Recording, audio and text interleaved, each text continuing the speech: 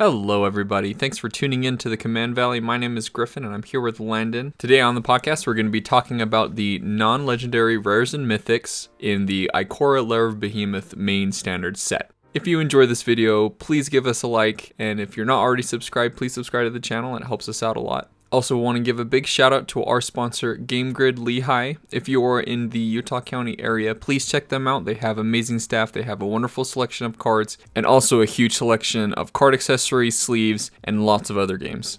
We'll put a link in the description below to their website so you can go ahead and check them out. Alright, like we mentioned in the beginning of the video, we are going to be going over the non-legendary mythics rares that we find playable in Commander. A lot of the mythics and rares in the set are very playable in Commander. I found myself getting inspired by a lot of these cards, and a lot of these cards are going into a lot of my decks. And let's just get right into it. Everything that I said holds very true for the first card we're going to be talking about, which is Fiend Artisan, or Fiend Artisan, depending on how you want to pronounce it. It is a hybrid Golgari, hybrid Golgari creature nightmare that gets plus one plus one for each creature card in your graveyard. It also has an activated ability that costs X in a hybrid Golgari. Tap it, sacrifice another creature, and then you search your library for a creature card with converted mana cost X or less, put it onto the battlefield, and shuffle your library. And you can only activate this ability anytime that you would cast a sorcery. Immediately, my mind goes to Birthing Pod or type like a Vannifar type effect or a Neoform type effect, but it's in green and black as opposed to green and blue. I think that this card is amazing in any any deck that wants to be aristocrats and has maybe maybe a blood artist that they're missing on the battlefield to finish out the game, or maybe they're looking for, or maybe you're looking for a big finisher that's going to create a lot of value for you.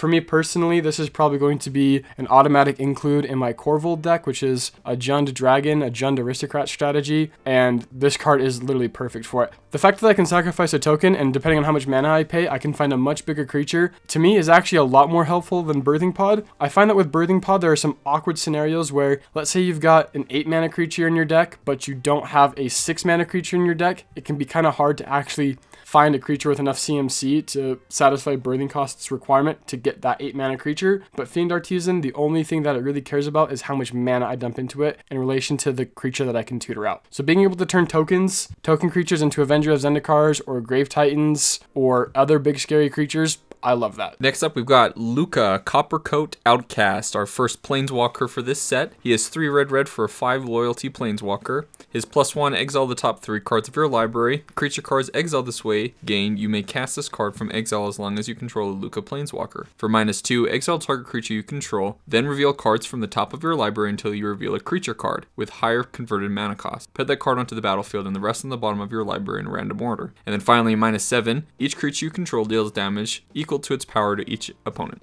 So coming in with 5 loyalty for 5 mana, that's a pretty good rate. So let's go ahead and look at the abilities. The first one, it reminds me a lot of Vivien from War of the Spark that allows you to get creatures and you can put them in exile and you can cast them later. With Lukka though, you have to have them out in order to cast those creatures, but honestly I don't mind that because this is a very unique ability in red to be able to exile creatures and cast them. So even though you do have to control a Lukka Planeswalker to cast them, it is his plus one, and we don't normally see this in red. So I like that a lot. His minus two, exiling a creature you control, and then revealing until you grab another creature and cast it, but it has to have higher converted mana cost. That's actually really cool for a minus two. That means you can use it as soon as he comes out, which if there's anything Landon and I love, it's something that can do something the turn it comes out. So if you're playing a deck with a lot of high CMC creatures, if you're playing uh, Theros Beyond Death Purphoros, if you're playing Xenagos, if you're playing Ilharg the Raised any deck where you have a large amount of big creatures, this is going to be a useful tool for you to get those out quicker. So with the minus 7,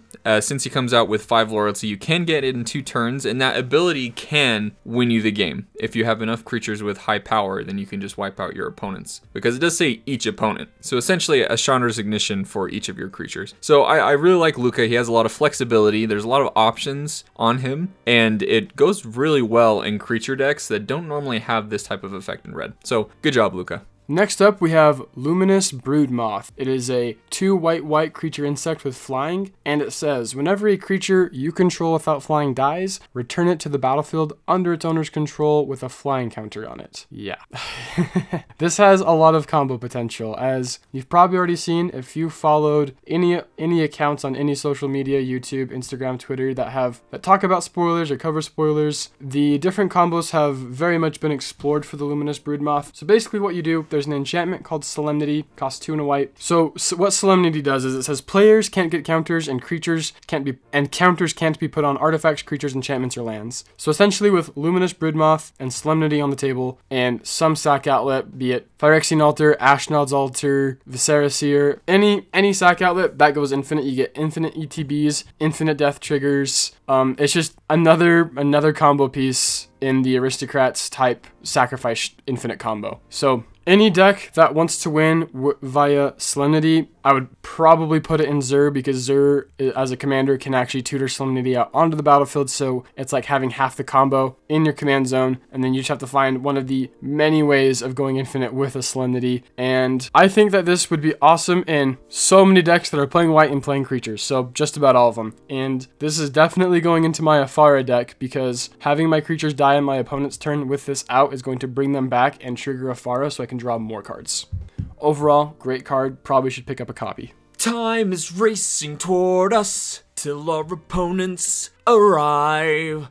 Okay. Next up, we have Narset of the Ancient Way. He Way. did the kick. He did. Yeah, no, you did the kick. Oh, sorry. they won't know that, but Oh. I mean, you did the Narset. I did. You know the because they do that in the movie too. It's exactly that position too. Next up, we have Narset of the Ancient Way. She is back. She is one blue, red, white for a four loyalty planeswalker. So already four mana for a four loyalty planeswalker. Good rate. Plus one, you gain two life. Pretty good, huh? Yeah, we can stop there. Next, next card. Add blue, red, or white. Spend this mana only to cast a non-creature spell. Minus two, draw a card, then you may discard a card. When you discard a non-land card this way, Narset of the Ancient Way deals damage equal to that card's converted mana cost to target creature or planeswalker. And then minus six, you get an emblem with whenever you cast a non-creature spell, this emblem deals two damage to any target.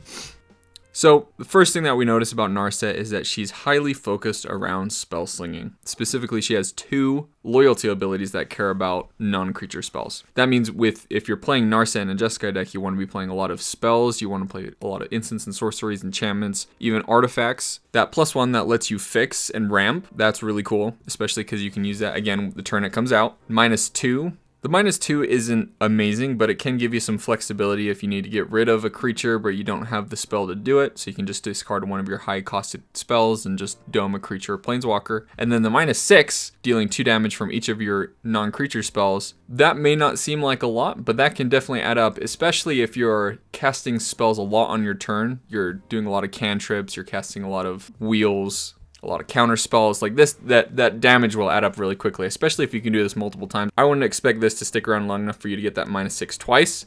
Overall this is a okay card in a spell slinging deck. I don't think that i would put this in a jeskai deck. I don't think she really gives that much more to a deck than you could already have. The the benefit to narset is that really what you're doing is trying to just get mana and ramping off of narset. However your opponents won't really see narset as a threat and you might be able to get that minus six pretty quickly so there is a benefit. We've talked a lot about planeswalkers that although they might not be very powerful, using their abilities multiple times because people don't see them as a threat can end up as being a threat in the game. On to the last planeswalker in the set, we have Vivien, Monster's Advocate. She costs 3 green green for a legendary planeswalker Vivien. She has a static ability that says you may look at the top card of your library anytime, and you may cast creature spells from the top of your library. Already, that's really good, extending your hand by one card. Her plus one says create a 3 3 green beast creature token and put your choice of a vigilance, reach, or trample counter onto it. And then her minus two says when you cast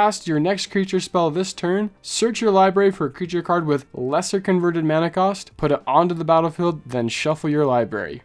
I feel like this is probably the most pushed of the three planeswalkers from this set. Um, being able to tutor a creature into play, although that creature will be smaller than the creature that you cast, I feel like that is not something to trifle with. Um, I don't know if it's gonna go into my Korvold deck, but I think it's super cool in a deck that wants to play a lot of creatures and a deck that is looking for some key creatures as part of an engine. I think if you're playing a green deck and in that green deck you are playing creatures, you will want a copy of Vivien in there. She can do something the turn she comes out. Five mana is a little bit expensive, and if you know you cast her on curve, you might not getting get anything out of her. But at least if you cast her on curve, she can make a blocker. She pluses herself up, and if you're already playing a lot of creatures, creatures, or you have played a lot of creatures on the curve when you cast her, she's probably going to make it around the table and you will at least get one tutor off of her. And I think already that's amazing. With how few budget tutors there are in Commander, this is a great card. Next up, we've got Drannith Magistrate, which is one and a white for a 1 3 human wizard. Your opponents can't cast spells from anywhere other than their hands. White gets another control piece. This it reminds me of being like the Hushbringer of this set. Yeah. How many decks and strategies does this shut down? Uh, it shuts down any strategy that relies on the commander. Yep, you can't cast the commander. You can't cast things from the graveyard. You can't cast things from your the top of your deck. It shuts down Muldrotha. It shuts down my cast deck because I can't cast my instant sorceries from my graveyard. Um, The fact that this just stops commanders. I think this is probably one of the worst hate bear cards because the fact that it says your opponents can't cast spells from anywhere other than their hand. Everybody's gonna hate this as soon as they see it. that's that's starting to be a theme that I think this has been going on since probably since War of the Spark. There has been some type of white hate bear in every standard set. Yeah, we sit We had Deafening wizards. Silence, Hushbringer, this now. Um, I'm probably missing some. I don't know. I think probably by the end of the year, or maybe even next year, you could build. And I know that you already, I know that you already can build a hate bear deck in Commander. There are enough of them. You can definitely build a pretty oppressive hate bear deck. I love control decks, and this, This, is more than control. this- This, is this like is this is like control. stacks. Yeah. yeah I, I i do like it i do like it a lot. This is almost a leveler against those type of strategies that just catch so much synergy more than mhm. you. The fact that this breaks symmetry, meaning doesn't affect you, like if you're playing a white deck that is controlly or a little bit slower, probably a pretty good option. Or if you're in a meta where maybe one of your friends has a really obnoxious deck that wins really fast and their commander's half the combo, like an Urza deck or a Thrasios deck or something like that. or Kess? yeah I don't rely on Kess. I don't even cast it like 70% of the time. Okay, I think we can move on. Next up, we have the first of the ultimatum cycle with Eerie Ultimatum for a meager price of white, white, black, black, black, green, green. You get a sorcery that says you win the game. basically let's move on So it says return any number of permanent cards with different names from your graveyard to the battlefield, no exiling itself afterwards. I will say that this is probably the most unclever of the ultimatums. I mean, it's I mean, I don't know what it's it's broken. I mean, it, it the fact that it, it says cards with different names from your graveyard to the battlefield makes me think that they were hoping that this would just be played in standard and that that would be somewhat of a downside because a lot of decks in constructed formats use a lot of cards with the same names. Um, I hope that they didn't just completely forget about Commander when designing this card, but this seems like a pretty good finisher. It's like a living death, but only you get the benefits from it, and it hits all permanents with different names. We're gonna look at the other ultimatums in a second but a lot of the ulti- other ultimatums and a lot of cards that have this effect generally exile themselves afterwards that they after that they are cast because they you don't want to abuse them because it's very easy to abuse cards like this and i don't know why they didn't do it for this card i don't know if they thought well abzan doesn't have that much recursion like her but It are you kidding me you just need Eternal Witness, Yeah, Eternal just Witness. Revival, Regrowth. There are like eight different cards that say the same thing as Regrowth. I don't know all of them, but green is the best color of getting cards back from your graveyard. However, I think that this card, you do it once and you don't really need to do it again. You know what I'm saying? Like you, you return everything from your graveyard to the battlefield. Why would you want to? Why would you need to cast this again? Right? Like i could see it I think if you don't win, like on that t- turn or the next turn, like you maybe built your deck wrong. That's true. I mean, I could see a play where you have something like a Phyrexian Altar and Eternal Witness, and then you have a bunch of creatures. You sacrifice them all. You bring them to the graveyard with like a Zulaport. Well, that's already infinite right there with that with Eerie Ultimatum if you've got enough. Exactly. mana. Yeah. If you, well, I mean, you just use your creatures to pay the cost for or Eerie Ultimatum. You cast it. You bring them Yeah. all back. Eternal Witness trigger. Uh, there, there, there's probably a way of going infinite. Yeah. It, it's there are probably a lot of easier ways of doing it, but I think the reason why there isn't exile on this card is I think honestly because you just do it once, you empty your whole graveyard, and then Like, what are you gonna do? After what that? are you gonna do after that, right? It's like, well, that's uh, that's probably a game, guys. Although I would love to have this. I mean, if you Eerie Ultimatum and somebody's got a Cyclonic Rift and you have to discard at the end of turn, like I'm gonna want this still. So yeah, Yeah. this is an amazing card. Continuing Wizard's fetish for green, we have Emergent Ultimatum, black black green green blue blue for a sorcery. Search your library for up to three monocolored cards with different names and exile them. An opponent chooses one of those cards, shuffle that card into your library, you may cast the other cards without paying their mana cost Then exile Emergent Ultimatum. There we go, we have the exile clause. So I've seen a lot of discussion on this on Twitter where people are trying to find a play where you can, no matter what they pick, you win. And I haven't seen one that's fully I haven't seen one that wins you on the spot. win, yeah, that it's not guaranteed. The best that I've seen is having a deck with Jace.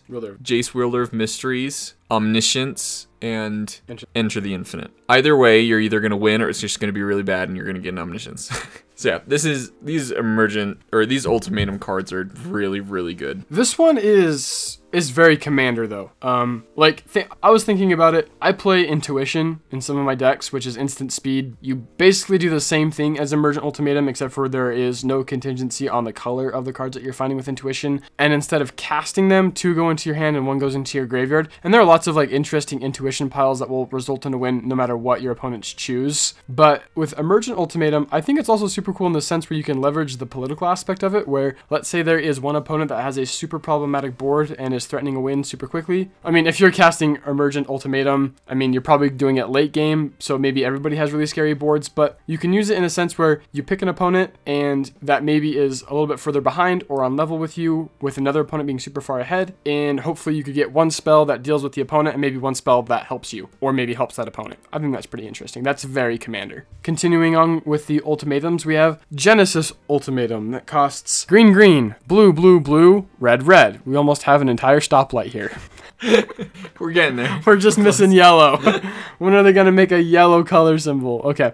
And for that much mana, seven to be exact, you get a sorcery that says look at the top five cards of your library. Put any number of permanent cards from among them onto the battlefield and the rest into your hand. Exile Genesis Ultimatum. At worst, bottom, bottom, bottom floor, you paid 7 mana and you drew 5 cards. At best, you probably won the game. I think that's uh that's probably think? the, Yeah. Why? You're putting 5 permanents into play. If you built your deck like to wor- work off of that, you're probably winning the game. I don't Think think about an. Emelsh what? Like it's, I mean, yeah, I mean, in a Maelstrom Wanderer deck, that's really good, but they don't cascade cast. No, no, I'm think sorry. I guess like 5 5 permanents. Mm-hmm. You don't think that's good? No, no, it's really good. I just don't think it's like immediate win. I think that's like Well, gonna help you win. Well, yeah, that's what I'm saying. It's like you're winning the game. Like you haven't won the game, but you're winning the game. Right. Putting five permanents into play, It definitely like out puts of you in nowhere. the winning yeah, yeah, yeah. spot. Um, well, like I used to like when I first had this card, I thought that the cards that you don't get just go to the bottom of your library. No, they go into your hand. So like I think that if this were any color that didn't have green, like if this were Grixis or something, it wouldn't be that good. But since you're in green, like you can ramp into it. I think that's pretty good. I would put Genesis Ultimatum in any deck that is playing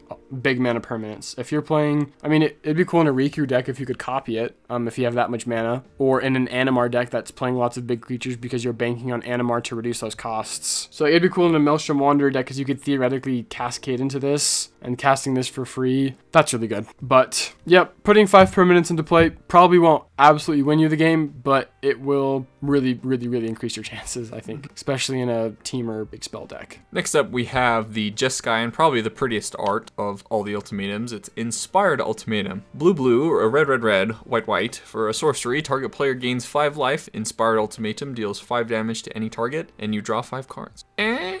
I don't think this one was necessarily built for Commander. That effect against one opponent is super good. That effect against three opponents is just not enough for, for 7 mana. There's a lot of other things I'd rather have in a Temur deck at 7 mana than Inspired Ultimatum. Yeah. Again, it doesn't exile itself. There's a chance of recurring it. If you copy it, play it from your graveyard. There's some cool things that you can do with this. I just, I, I really don't think that this was built for Commander, and I think there's better cards that you could put into your decks, uh, your Jeskai decks, to have a bigger effect on the board. I think your deck has to really want it, um, and you have to already be in the market for slinging spells and copying spells. I think seven mana for this ability one time. I don't know, five cards. Five cards, that's a lot of cards. Um, and if you're looking for card draw in your deck, seven mana might be a lot for it, but card draw. And to close out the ultimatum cycle, we have Ruinous Ultimatum for red, red, white, white, white, black, black. We get a sorcery that says Destroy all non land permanents your opponents control. Your opponents control. All. Non land permanents.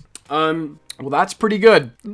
Yeah. I mean, good. It's uh yeah, it's uh yeah. People are comparing it to uh, Cyclonic Rift. I think it's more like in Garruk's Wake. This destroys all non-land permanents, and Cyclonic Rift just bounces them back to their hands. But this destroys all non-land permanents for seven mana. I don't know. I You you every Mardu deck wants this. yeah. It's high costed, but it's an amazing effect for that cost. So it's worth it. It's worth it to pay seven mana to destroy all non-land permanents your opponents control. What It if you die before you get to seven mana consistently meta? If you die consistently before you get seven mana in your meta, I, I wouldn't play this card. I mean, like that's my opinion, because that's something you have to think about with big mana spells. Is is how many times does this big seven mana spell sit in my hand and not do anything? I think Ruinous Ultimatum will always do something. It's always gonna blow up, you know, things. Your opponents probably play non-land cards. I think in Commander, right? That's you play non-land cards sometimes. Couple- Maybe like a Signet or two. or like a Locket. well, Yeah, blowing up your opponent's lockets. it's like pretty good. Yeah, it's I mean, good rate. imagine if you hit like an Azorius locket with this. Your opponents will be devastated. Next up, we've got the first of the enchantment cycle for the three colors. We've got Death's Oasis. It costs a white, a black, and a green, and it says whenever a non-token creature you control dies, put the top two cards of your library into your graveyard. Then return a creature card with lesser converted mana cost than the creature that died from your graveyard to your hand. Also has an activated ability that says pay one and sacrifice Death's Oasis. You gain life equal to the greatest converted mana cost among creatures you control. This card reminds me of Scrap Trawler, but for creatures. Scrap Trawler lets you get artifacts back from your graveyard to your hand that have that deal with converted mana costs. Death Oasis lets you get creatures back. I don't know why you would ever want to sacrifice this for life. I guess maybe if your back is really up against the wall and you're about to lose, that might be nice. But this value, the value engine, actually, I think this is a pretty good value piece. If you're in an Abzan deck that a lot of Abzan decks like Karador or the new Kathril want to play a lot of creatures, a lot of a lot of strategies in Abzan use the graveyard. It's a it's a good graveyard synergistic strategy color combination. I just think this is a good engine piece. I mean, you get creatures back that died, especially if you have ways of filling your graveyard really easily. Cool, pretty uh, pretty good. The fact that every time a non-token creature dies, you're recurring something. And you mill too. And you mill too. That's Yeah, really powerful, yeah. especially in Abzan. Next up, we have the next enchantment, the Temur enchantment, Song of Creation. One green, blue, red for an enchantment. You may play an additional line on each of your turns. Whenever you cast a spell, draw two cards. Hot diggity dog. And at the beginning of your end step, discard your hand. That's a downside, but man, can you abuse this card. The fact that you can cast or you can play your lands that you're drawing consistently, and whenever you cast a spell, you're drawing two cards, you can siphon so much during, and it's anytime you cast a spell, it's not just during your turn. So you can cast spells. Jumpstart. Yep. Flashback. Um, retrace. Your one mana brainstorm suddenly becomes draw five, put two back. It's really good. So if you're playing a lot of spells, if you're playing a lot of jumpstart, flashback, a lot of stuff back from your graveyard, if you can draw cards from your Creatures that you have on the battlefield is another. yeah, if you have like an Arca- Arcanis the Omnipotent, like a Humble Defector, things that can draw you cards, Jace's Ar- Archivist, things that can draw you cards on the battlefield, then this is just, honestly, it's just amazing even if you don't have that. If you have the mana to play your spells, let's say you have 10 mana, you can siphon through a lot of cards, and at the end of your turn, you're going to have like 12, 15 cards in your hand still. Next up, we have Whirlwind of Thought. It costs one blue, red, white for an enchantment that says whenever you cast a non creature spell, draw a card. I can't see any downside to this card. I I was looking over the Jeskai commanders. All of the Jeskai commanders want you to be casting non-creature spells. Like I, I honestly, I, I can't think of a reason why you just wouldn't want to play this card if you're in Jeskai. It doesn't have the downside of Song of Creation where you have to discard your hand. It doesn't draw you quite as many cards, but I would take not having to discard my hand at the cost of only drawing one less card and not being able to put a land or play an extra land than having to discard my hand at a turn. So Next up, we have the Sultai enchantment, Titan's Nest. For one black, green, blue, we have an enchantment. At the beginning of your upkeep, you may look at the top card of your library. You may put that card into your graveyard, and then exile a card from your graveyard. Add colorless. Spend this mana only to cast a colored spell without an X in its mana cost. I've also seen a lot of talk about this uh, over Twitter and about the different ways that you can abuse this card. The fact that you can use this the turn that it comes out, you don't have to use anything or it doesn't cost anything to, to siphon your graveyard for mana. Already that's a powerful effect. Having it on an enchantment that doesn't say you have to exile itself at the end of the turn, That's really, really good. You're in Sultai, so you're probably doing some stuff with your graveyard anyway. If you've dumped 40 cards into your graveyard, then all the spells, all the spells in your hand could essentially just be the mana pips that they have in them. If you have a spell that's seven green green, it could just be green green. That is really, really strong, and I wouldn't underestimate this card at all. And I'm very scared to see it on the battlefield. The downside is you can't cast X spells, so obviously you can't use like the Villainous Wealth, Pull from Tomorrow's, Torment of Hellfire, Exsanguinate. But I can see I can see the reasoning why then I think it would be a little bit too good. But even without the I mean even with that clause, you can do some nuts things on your turn. So Offspring's Revenge is a enchantment that costs 2 red, white, black and it says at the beginning of combat on your turn, exile target red, white or black creature card from your graveyard. Create a token that's a copy of that card except it's a 1/1 and it gains haste until your next turn. I like this enchantment because you can profit off of it the turn that it comes out if you cast it in your pre-combat main phase, which you'd probably want to do. I would absolutely love reanimating any of the Praetors or demons with powerful activated abilities or just normal powerful abilities like Vilis, Broker of Blood, or Razaketh. Basically, any big mana creatures with powerful activated abilities or static abilities are really awesome because reanimating big creatures doesn't really mean anything with this because it turns it into a 1-1. But it does gain haste and you don't have to sacrifice it at the end of the turn. It stays around, it stays on the table. Um, I think it opens up some potential for some type of graveyard shenanigans in Mardu that we haven't really seen before, haven't really I haven't really seen a deck like that. So I think it's an enchantment that has a lot of potential. Next up we have the Mythos Cycle, which are spells that have something to do with one of the apexes. So the first one we're going to be talking about is Mythos of Brokkos. It costs 2 green green for a sorcery that says return up to 2 permanent cards from your graveyard to your hand. And if you spent blue or black to cast a spell, you can search your library for a card, put that card into your graveyard, then shuffle your library. So if you paid a blue, black, green, green to cast this spell, it's like a 4 mana tutor, which is pretty cool, I guess. Like we were saying earlier, green is probably the best color at getting things back from the graveyard. You can return two permanent cards from your graveyard to your hand for four mana. That's essentially drawing two cards and being able to search a library for any card, putting it into your hand. That's pretty good. Next up, we have Mythos of Illuna for two blue blue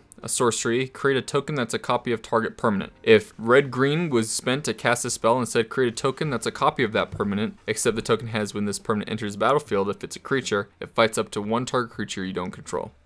This is a really good card already. Being able to make a copy of a permanent, that means you can get lands, enchantments, artifacts, creatures, planeswalkers, artifact creatures. I think I would rarely use the red green to have it fight another creature. I don't think I'd normally want to do that, but hey, it's an extra it's an extra benefit to using this spell. So yeah, if, it, if you're in a tight pinch, if you need to get rid of a creature, or maybe you just want to, you have the mana for it, then might as well go for it. But I think the real power of this is the fact that it can make a copy of any permanent.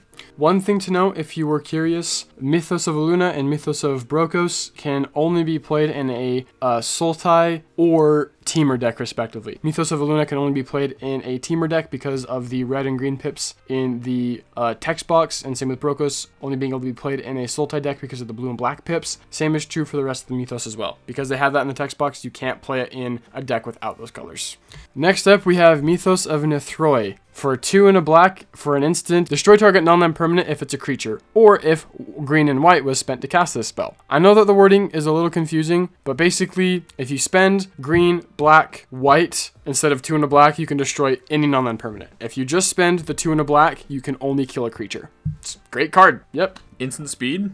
Goes in Abzan. Definitely does. Next up, next up we've got Mythos of Snapdax, which is going to be our Mardu one. It's two white white for a sorcery. Each player chooses an artifact, a creature, an enchantment, and a planeswalker from among the non-land permanents they control, then sacrifices the rest. If black red was spent to cast a spell, you choose the permanents for each player instead it I, I, think this card is definitely very situational. You would want to play this in a deck if you can assure that you're getting the most benefit off of this. Because it is a very strong card, but if you're in a deck that's playing a lot of creatures and you have to sacrifice all of them, or if you're playing a lot of artifacts, you want to make sure that this this helps you out in the best way possible. It's a shame that doesn't say each opponent, but that would probably be just way too good. But yeah, I would I generally would not play this in a deck where you are going to try to have a big board state, whether it's a creature board state, artifact board state, you got planeswalkers.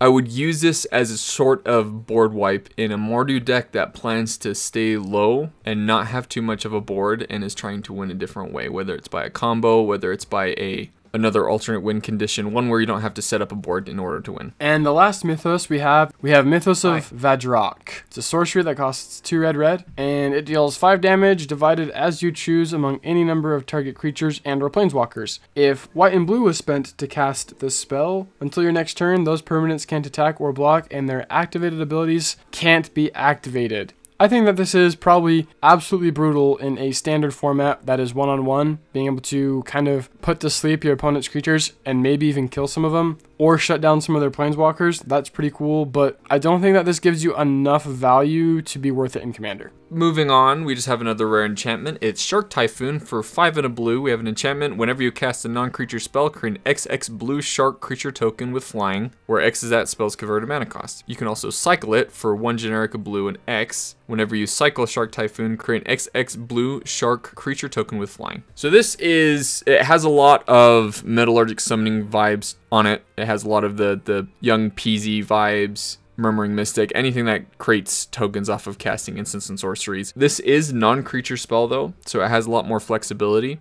I would not underestimate the fact that these tokens have flying. If you're playing a Spellslinger deck, even though this is 6 mana, I think it's definitely worth it. If you can slap this down and start like casting spells like crazy, I think this is honestly super good.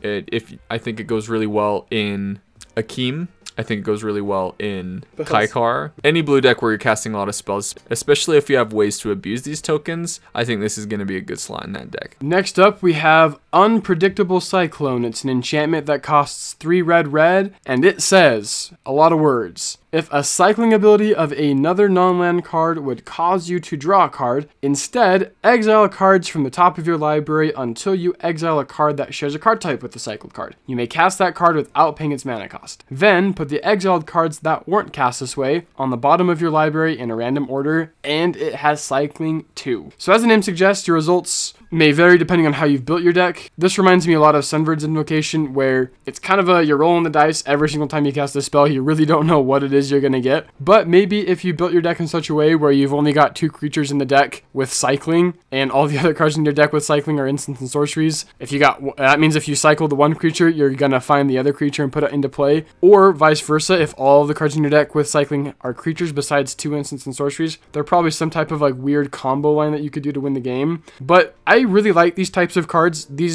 enchantments like this, like Unpredictable Cyclone, Sunbird's Invocation, Swarm Intelligence, Thousand Year Storm, these cards become pet cards to me and I try to break them or do some really weird things with them. I, I really love that type of effect.